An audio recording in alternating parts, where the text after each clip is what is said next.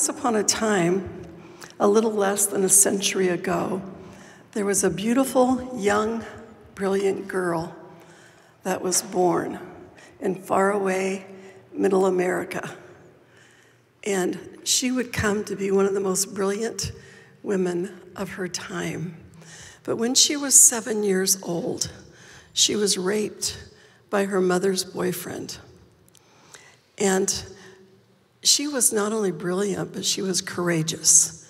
And if you've ever experienced anything like that, you know that it takes courage to say anything to anyone about it. And she was courageous and she told her mother what had happened to her.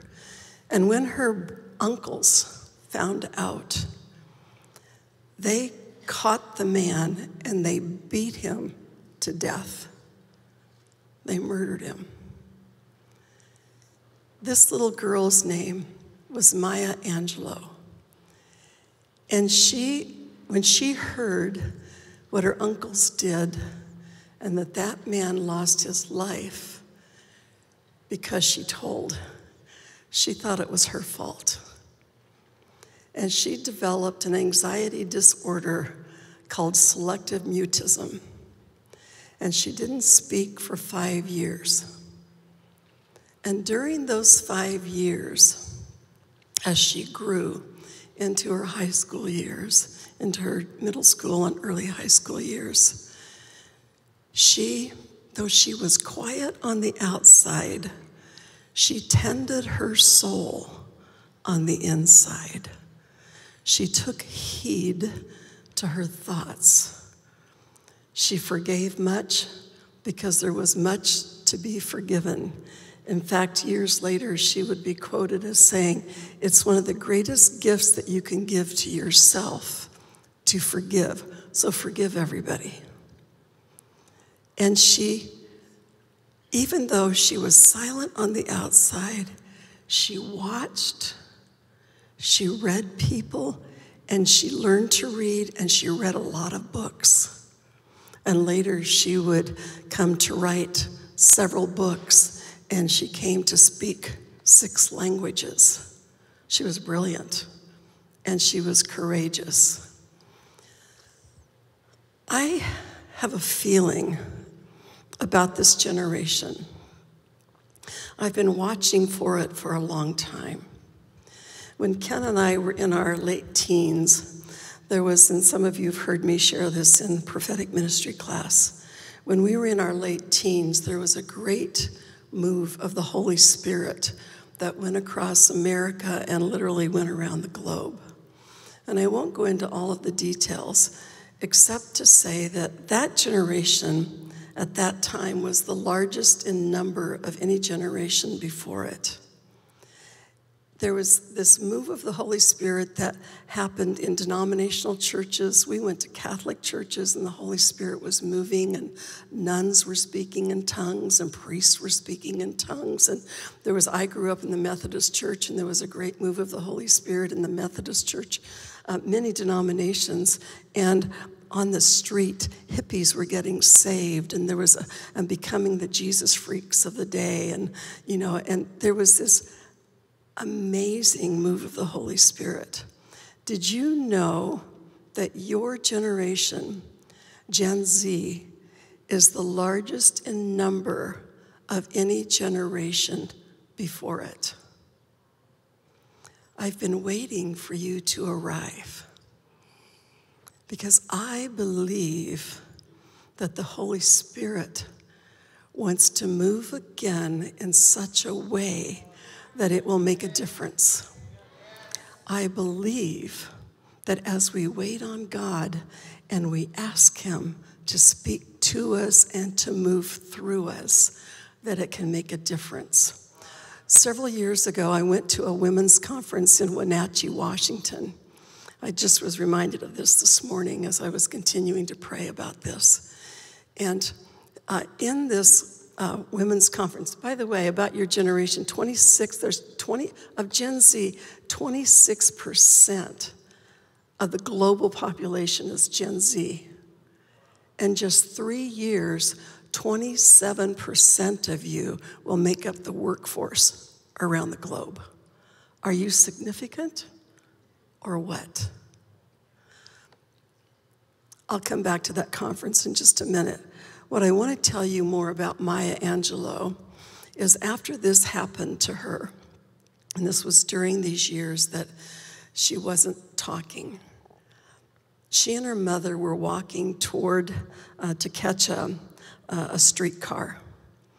And as they were walking, her mom was talking to her. Again, she paid attention to everything. And she said to her, Maya, you know what? I think that you are the greatest woman that I have ever met. She's saying this to just a young woman, a young girl. And she began to list great women of the day. And she said, No, you know what, baby? I think that you are the greatest woman that I have ever met. And Maya, as they boarded the streetcar and she looked to the inside paneling on the streetcar, she asked herself, I wonder, just suppose I really am somebody. Just suppose I really am somebody.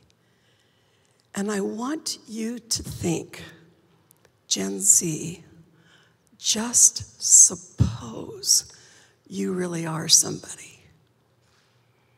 What do you think God might do around the globe if you begin to get a hold of that, regardless of your circumstance? Now, the Holy Spirit will require of you that you take heed to yourself and that you tend your soul.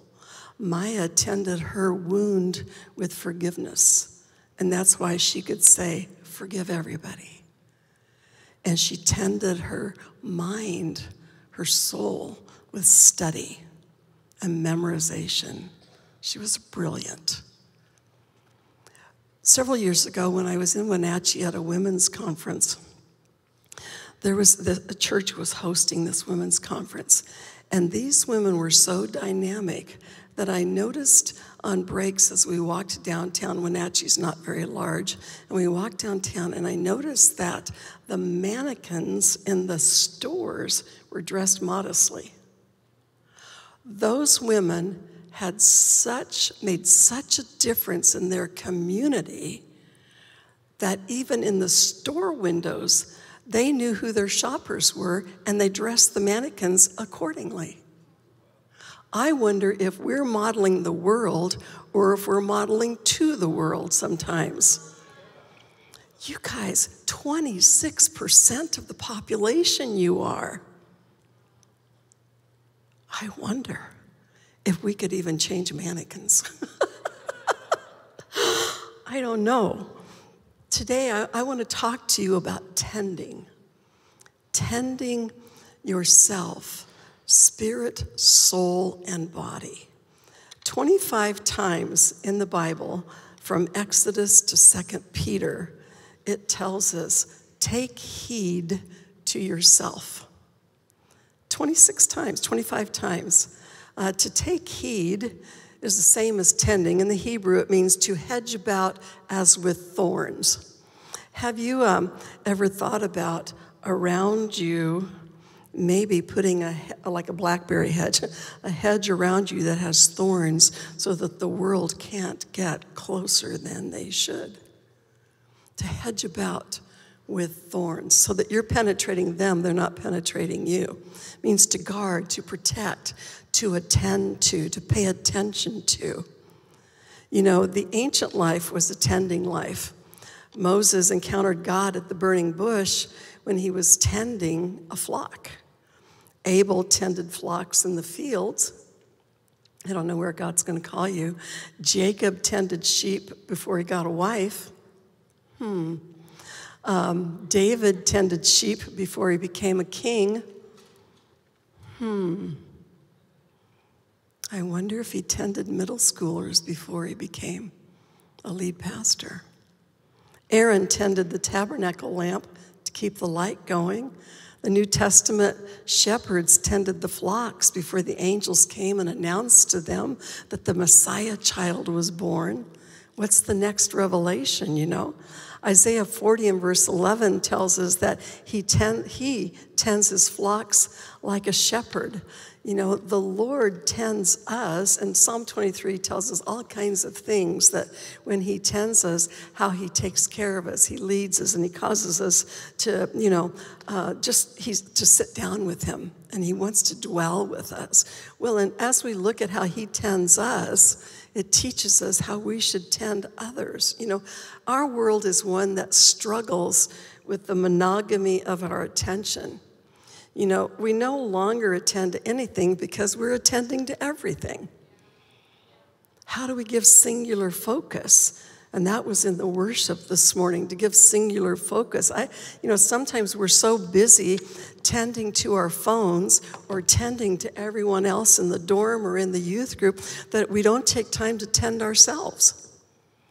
And the Lord would say to us, there's a starving and thirsty generation that needs us to be a light, to be an example, and to tend ourselves so that we might have enough to tend them, enough left over.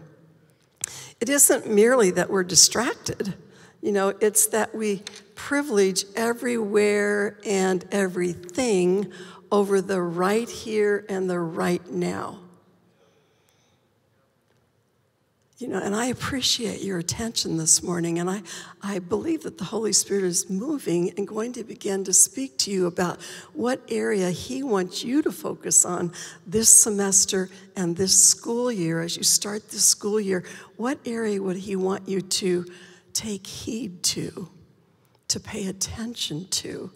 Uh, you know, uh, you want to tend to your relationship with the Lord, you want to hear God's voice, well, you're going to have to tend to that relationship. Take heed to it. You want to have a healthy soul and healthy relationships with others, you're going to have to tend to it.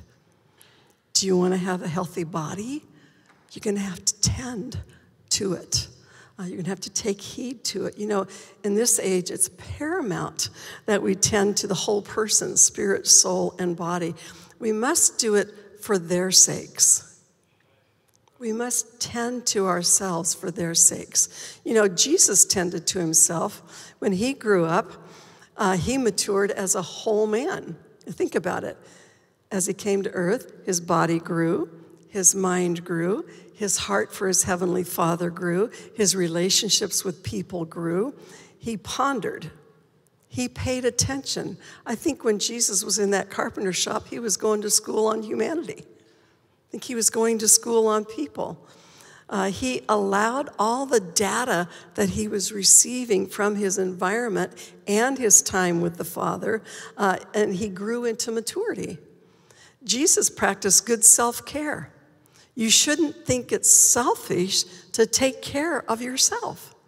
He tended to his personal needs. You know, when he needed some time alone, he took it. When he felt hungry and thirsty, he made it known. And, you know, he didn't allow others to control his agenda. He didn't shrink from asking his friends to pray for him when he had a need. Wow. Jesus also told his disciples to come to him for rest. Why would he have said that if they didn't have need? Jesus is saying to some of you this morning, this semester, this school year, I want you to tend to Sabbath rest. And if you can conquer it in this next six months or in this next nine months, you just taken a, a step of growth that's going to serve you well for the rest of your life because you settled in, it's cemented into your soul how you need to rest. Maybe that's what the Holy Spirit's saying to you. You know, um, we need to, now I'm going to break it down spirit, soul, and body. We need to tend to our spirit. In this age, perhaps what's most at risk is our ability to tend to our relationship with God. We need to give the monogamy of our attention to God. The scripture calls this single heartedness. When you have your devotions, do you give Jesus single hearted focus? Have you ever thought about why God told Moses to take his shoes off when he was at the burning bush? We know that God said, Look, Moses, this is holy ground. Do you know that when you and Jesus meet together, it's like holy ground? And he said to Moses, Take your shoes off. Uh, I read a book this summer or last spring uh, called After Doubt by A.J. Swoboda, and I highly recommend the book. But in the book, he gives this illustration of every time he would come home from work, and he's a pastor and a teacher and a, um, um, a university. Anyway, every time he came home from work, his little boy, Elliot, would say to him, Papa, Papa, take your shoes off. And he said, I never could figure that out. It took me the longest time to figure it out. He said, I asked my friends, do your kids tell you to take your shoes off when you get home from work? And why did they say that? And so one day, he wasn't getting any good answers, couldn't figure it out. And so he asked little Elliot, Elliot, why do you want me to take my shoes off? he says, Oh, Papa. He says, when you have your shoes on, you have somewhere else to go. But when you take your shoes off, you have nowhere else to go. So, Papa, take your shoes off. And I wonder if our Heavenly Father, Papa, would take his shoes off or would say to us, Take your shoes off. You know, when we come in to talk to him, you know, there's just no shortcut for knowing him. You know, uh, it takes time. You can learn about him by taking some Bible classes you can learn about him by reading your Bible uh, on your phone. You can, that's all, you know, you can learn about him in a variety of ways, but to know him, take your shoes off. Take your shoes off and spend some time. Let him know, I've got no place else to go right now. And maybe some of you need to set an alarm on your phone that says time to go to class now. But, you know, it's like, we need to sometimes take our shoes off. You know, in the Hebrew, uh, to know means to experience. It, it means to do something more than um, just intellectualizing it, just knowing about Him. It means to experience. The Hebrew word yada means to know, it means to encounter, to experience, and to share in an intimate way. I think sometimes when we are tending to our spirits, we need to take the earbuds out or put a please do not disturb sign on our dorm door and take our shoes off and tune in. Uh, Billy Graham said, You know, God doesn't want an apartment in your house, He wants the whole house. He wants, he wants focused uh, attention. We need to sit and we need uh, to listen. Thank you. Thank you very much. Uh, we can suffer from what's called today, I think sometimes we suffer today from what's called reflective poverty. We rush in and we talk to God, but we don't take time to meditate and reflect. And we become poor in our reflection of Him, reflective poverty. You know, uh, are you poor in that way? you know, we need to give God the monogamy of our attention. I think, again, as I pondered this, sometimes I think we don't tend to our relationship with God because sometimes when we have in the past, He hasn't shown up. He hasn't seemed to have answered us. I don't know if any of you have experienced that and we, he feels very far away. So we're like, I don't know, the last time I really tried to talk to him day after day, and I even fasted and prayed, he just never really showed up and said anything to me. So I just don't, I don't do it anymore. I want to say to you this morning that God's silence is not the same as God's absence. You know, we want to feel God, but God's sensory absence is not his actual distance. Sometimes God reveals true intimacy with us by not talking to us like we're toddlers anymore. You know, adults, you know, I, I can feel Ken's thoughts right now. We've been married many, many decades and many years. And he doesn't even have to always say something to me for me to get it and to know it. He can read my body language, I can read his. You know, God's sensory distance is not actual distance. So don't run from him. What about your soul? What about your soul? So when, when God is silent, realize he hasn't abandoned you. Continue to lean in. What about tending to your soul or taking heed uh, to your soul, your mind, will, and emotion? So if you think, okay, Glenda, my, my spirit is good, I'm good. I don't feel like the Holy Spirit's talking to me about that. My devos are great. All right, let's check your soul. How's your soul doing? Tending to the mind, will, and emotions. And I'm going to include relationships here. You know, good self care, again, is a godly thing. So having healthy relationships and friendships is actually tending to our souls. The soul that is left unattended becomes isolated and imbalanced. And if there's anything that COVID taught us, this is one of those things. Is that when we were too isolated, we got imbalanced in our thoughts and sometimes felt that we weren't worthy, and then we got real depressed. You know, it's like too much isolation is not good. The soul that has genuine friendship is the soul that is balanced. Why? Because scripture says that friends sharpen our countenance. We need our friends to speak into our lives.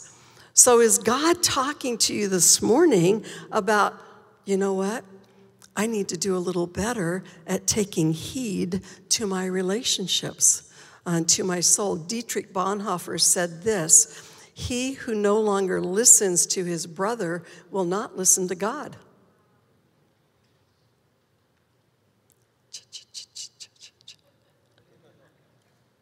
Are you listening to your brothers and sisters? Are they saying things that you don't like? Maybe God is talking to them and through them.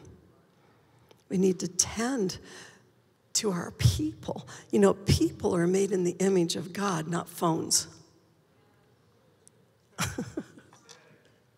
well, now, if you get a text from me, uh, you know that it's from God. No, I'm kidding. I mean, our phones can be vehicles for people to speak to us, right? I'm just teasing you, you know, but it's like we have to remember that it's people that are image bearers of God. So we need to tend to our relationships. Now, balance with that is crucial, all right? Because we, in our humanness, tend to become like those that we hang out with, right? Uh, there was an obscure monk by the name of Chaim who gave advice to the Christians that were under his care. And his advice was don't live with the heretics. He didn't say don't know the heretics. He didn't say don't love the heretics. He said don't live with the heretics. In other words, watch the influence of your friends. You know, sometimes some of you, uh, your personality type is so, you're so full of empathy and compassion for people that uh, the influence can begin to go the opposite direction that you initially intend. When our personal compassion for others overrides our covenant connection with Jesus, we risk deconstructing our faith one plank at a time. And we live in an age right now of deconstruction. And it is healthy for you to look at your faith and understand why you believe what you believe, line upon line, precept upon precept. But when your compassion overrides your relationship with Jesus, you can begin to deconstruct your faith one plank at a time because the influence goes in the wrong direction. Does that make sense? I see some of you nodding, like, yeah, okay, got that. That makes sense, okay? Then we need to um, tend to or take heed to our you know, our mind, will, and emotions, not just our, our relationships, our emotional, intellectual input. So let me just uh, say this the human soul withers under the avalanche of distraction that this culture provides today. Is your person withering under the avalanche of all that comes through the internet today? My goodness, think about how much we get distracted by. And I'm not against the phone. I have a phone. I use the phone every morning. You know, I read my Bible on the phone. I mean, you know, it's we use the phone, right? But it's like I want to make sure that those pop-ups aren't going to keep coming up so much that I miss and I wither under the avalanche of all of that and that my soul withers because I don't take the time to take heed to what the Lord is saying to me in my mind, will, and emotions. So let me just uh, give you a little checkup here and see if the Holy Spirit would speak to you about one thing or the other. Um, chart, I challenge you on these things. Chart your emotions, okay? Over a period of time, see if there is a pattern to your emotions. Do you have more dark motions than light motions? You know, chart those emotions and see how you're doing. Uh, what about your music? Evaluate your music and the impact of your music. Honestly, objectively, listen to all kinds of music and then evaluate how it affects you. Don't lie to yourself or rebel against your parents or their style of music. No, evaluate it objectively and honestly and see how it's affecting you.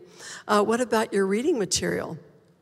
You know, our souls need tending through our intellectual growth and our reading. And if you're not a reader, I want to challenge you to start reading at least a book a month. Start there. And then before you know it, you'll be reading more and more. You need to read to grow, your intellectual growth. How are you doing? Uh, take heed to your soul. There was a German Jewish theologian by the name of Franz Rosenzweig who compared uh, modern Jews to uh, divers in the ocean who maintained um, uh, that, that they maintained their growth by the oxygen that was already stored in their tanks. And then when that was out, they died. And he said, You know, you can't just go on the oxygen that you have right now. You need fresh oxygen tomorrow. You can't just go on the books that you read this summer. What are you reading right now? Okay. I'm stepping back.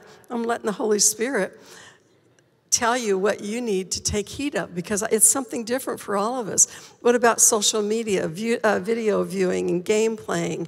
You know, our souls can pay a price for uh, when we throw around our attention. Augustine uh, said that uh, we could lose the virginity of our mind by what we allow to go into it.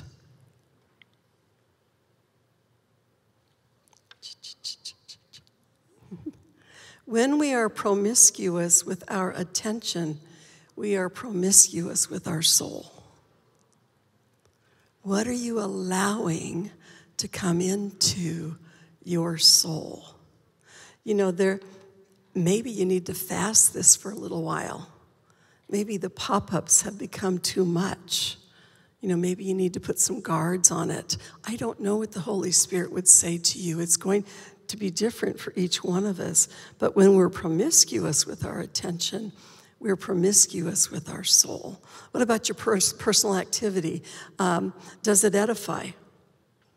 You know, at the University of California, Irvine, uh, they asked uh, the psychology students, uh, they asked them to ask several students on campus to take one photo a day. Uh, for, I think it was for 100 days, to take one photo of either themselves smiling or something that made them smile or a person that made them smile. And when they came back and did their surveys, they found that 100% of those surveyed said that their mood improved. So, do you ever take time to just stop and take a picture of something that makes you smile? And that could be the beach, that could be a flower, that could be a friend. You know, Jessica stole my phone the other day and took a picture of herself and Caleb smiling. I think she likes to do that you know. But you know what? I looked at it last night and it made me smile. You know, it's like you want to improve your mood.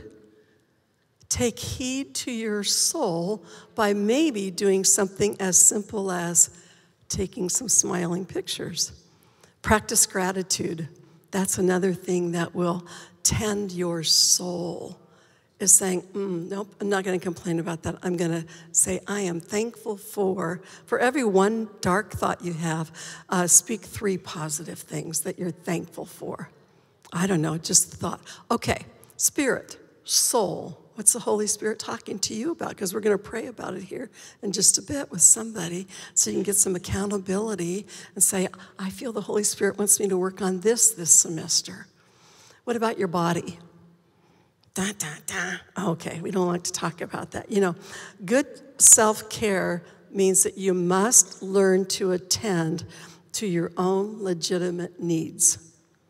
That is not being selfish. 1 Corinthians 6:19 says your body is the house of God, right? I mean the house of the Holy Spirit. It's the home for your spirit, right? Ern Baxter, who was a speaker uh, in generations ago. He's with Jesus today. But he said the duration of your usefulness for God may depend on your godly stewardship of your physical body. The next slide, that's, that's the quote. The duration, think about it. Now, you're young. Almost everyone in this room is young, except for Ken and I, I think. But uh, it's like the duration of your usefulness. How long do you want to be useful to God? Do you want to quit being useful to God when you're 25? When you're 30? And I know genetics plays into this, but some of it's taking heed. Thank you. I got some amens over here. That might have been from Ken because he's the oldest. Okay, anyway, no. When you take good care of the temple or the house that God has loaned you, you honor him. God has loaned you this body. Whoop, whoop. He loans us our friends.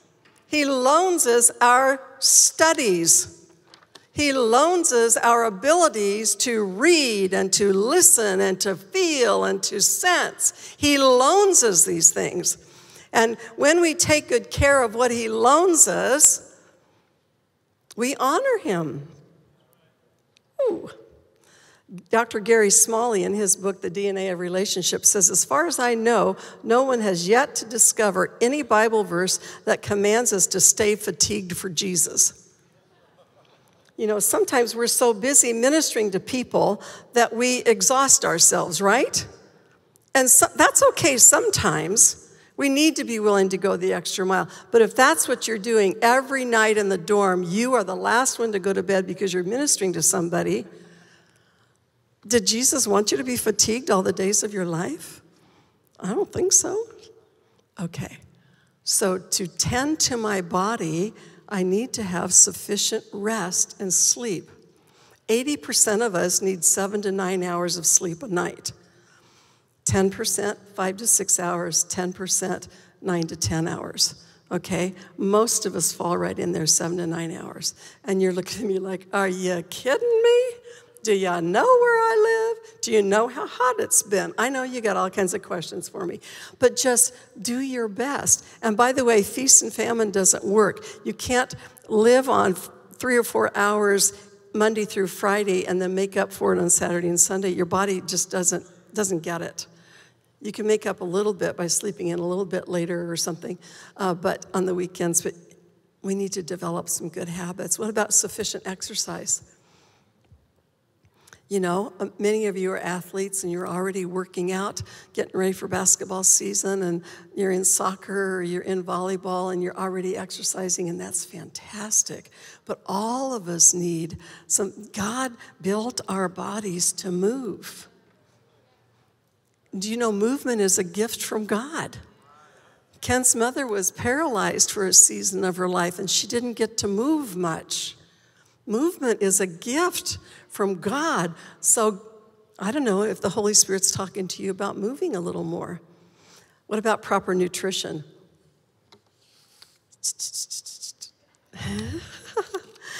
what are you eating? What are you putting in that house that God's loaned to you? You know, Okay. Let me close with this. Maya Angelou once said, Do the best you can until you know better, And then when you know better, do better. Now, the Holy Spirit has spoken something to you this morning spirit, soul, or body. And He doesn't usually tell us to work on everything at once because then we fail at everything. But what one thing do you think you and the Holy Spirit might think you could work on this semester in this school year? And I give you that quote because I want to ask you this what if you really are somebody? What if the Holy Spirit really does want to move through you? What if you really are somebody? And the thank you, the band can come back. Do you know that even though Maya had selective mutism for five years of her life, she was the first female, don't let me lose you, right here. They're coming back, you're used to it, it's okay, right here. She was the first female poet in history to speak at a presidential inauguration. She tended to her soul.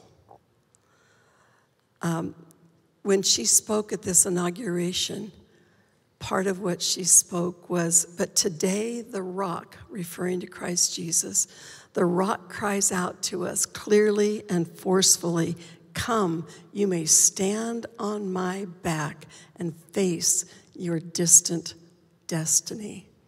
You know, another thing that Maya Angelou said was if you're always trying to be normal, you'll never know how amazing you can be. Let's stand. We must be intentional about taking heed. We must be intentional about tending. I'm prophesying to you with my eyes wide open. You have the potential to be amazing. So, why try to be normal, average in your spirit, soul, and body? Why not become amazing? And if you become amazing each semester or each year in one thing, think about what you could be four years from now. I mean, ponder that. If you focused on one thing this semester or this school year and you got really good at it, even if it was just Sabbath rest or if it was just exercise or if it was just quiet time with Jesus. What if you really are somebody? this generation is lost and it's deconstructing, and they need you. But they need you not to just preach at them, they need you to be an example for them. And if we don't do it ourselves, we have nothing to give away. You know, if you can't do it for yourself, do it for them. And if you can't do it for them, do it for yourself. And if you can't do it for you or for them, do it for the cause of Christ. Do it for Jesus. Uh, Colossians 1:27 says it's Christ in you. That's the hope of glory. I would love for us to determine afresh that we're going to work on one thing that we feel the Holy Spirit wants us to work on this semester and this school year.